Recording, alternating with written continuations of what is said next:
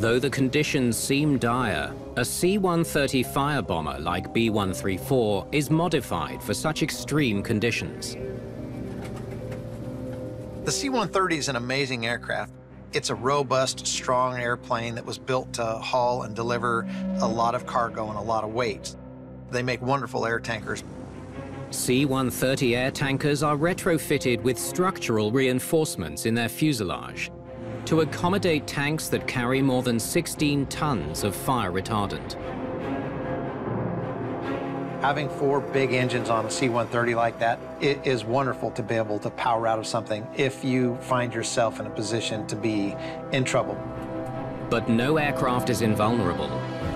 And for professional flight crews, safety is a priority. The 737 crew is dead right. These winds are too crazy. All right, I'm calling this one off. I'll notify fire control. Cooma FCC, Coulson B134. Go ahead, Coulson B134. Cooma FCC, conditions at Adaminaby, too smoky and windy. There's no way to make a drop here. Copy that, Coulson B134. The Fire Control Centre in Cooma, Australia, serves as a local base for the New South Wales Rural Fire Service. It coordinates firefighting efforts in the area, both on the ground and in the air.